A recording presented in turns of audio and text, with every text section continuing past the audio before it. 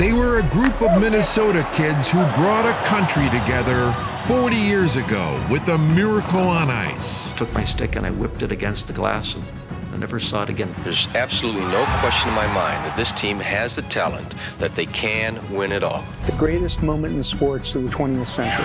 Minnesota celebrates the 1980 Miracle on Ice on a homegrown miracle.